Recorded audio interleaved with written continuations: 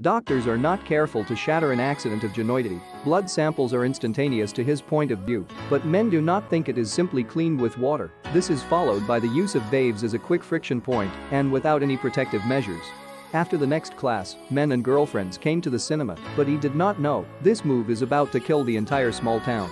Abrupt, man's body starts with face-to-face, and this is a large number of dangerous bleeds from him. Oral spraying is soon disseminated to the body of other sound customers. The girlfriend asked about his situation at a time when men finally did not live to buy bottles of water and the booths have been filled. Men then walked on the front and then the virus contaminated to everyone. Eventually, it serves as a front, just a bottle of mineral water, with a two-stage battery in the next second, and the penultimate body, heavy pumping began, and he was soon hospitalized. At this point, men are twice lipided, while doctors consider this to be simple. Influenza, men may be allowed to recover slightly. But they do not think of what is happening, and then the hospital caters for a large number of patients, who are the ones. Symptoms are the same as men, and they are the cinemas.